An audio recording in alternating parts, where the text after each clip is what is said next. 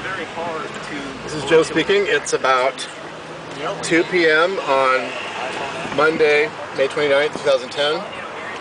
We're driving through downtown Oceanside. What you see in the camera now is the southern edge of the Oceanside Civic Center, Center complex, the library, City Hall, the other things. We're on South Coast Highway, which is the name of Highway 101 as it goes through Oceanside. Oceanside was the first big town north of San Diego back in the day. So it's the only one of the towns north of San Diego, um, between San Diego and Santa Ana, it has a real old school downtown. It's um, not in the best of health these days, but for a variety of reasons, but at least the buildings are here. And it is three blocks from the ocean.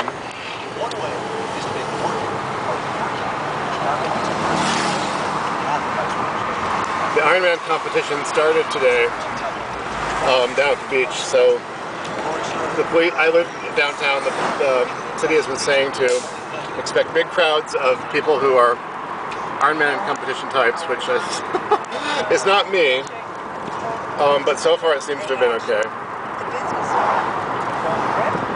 You can tell, the weather's beautiful. It's about 70 degrees, the light sea breeze, which is typical for Oceanside, pretty much 10 months of the year.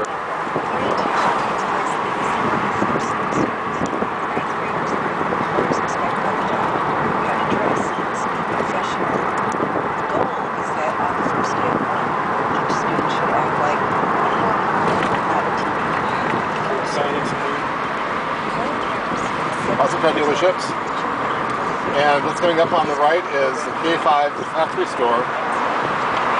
Oceanside is headquarters for a number of sporting goods manufacturers, K5 being one of them, and their factory stores are dotted here and there along Coast Highway.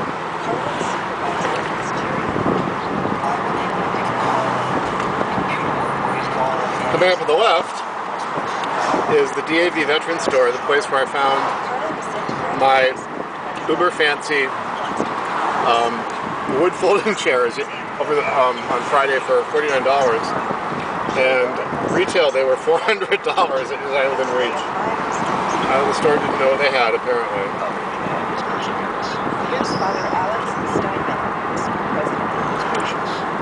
And that's a bit of downtown Oceanside. I'm off to run an errand. And I'll talk to you later. Take care. Bye-bye.